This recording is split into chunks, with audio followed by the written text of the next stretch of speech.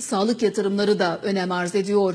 Artvin İl Sağlık Müdürü Doktor Abdullah Güleç ve Yusufeli Devlet Hastanesi Başhekimi Operatör Doktor Sinan Avcı sağlık hizmetleri hakkında önemli bilgiler verdi. Artvin'in Yusufeli ilçesinde sağlık yatırımları önem kazanıyor. Artvin İl Sağlık Müdürü Doktor Abdullah Güleç il genelindeki sağlık yatırımlarına değindi.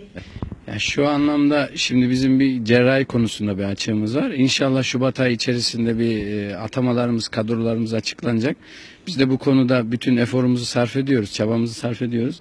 Cerrah geldikten sonra çok muazzam bir açığımız olmayacak. Artık göre halkına e, destek verecek duruma geleceğiz. Çünkü dahiliye uzmanımız, çocuk uzmanımız, kadın doğum uzmanımız ve başhekimimiz keza üroloji uzmanımız mevcut.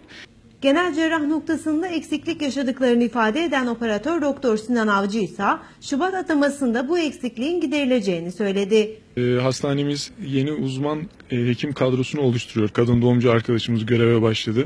Önümüzdeki hafta çocuk doktoru arkadaşımız göreve başlayacak.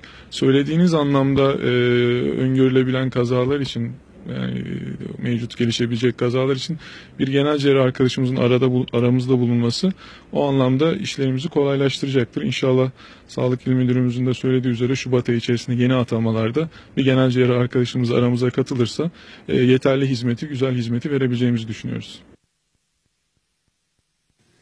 9. Cumhurbaşkanı Süleyman Demirel, Kuzey Kıbrıs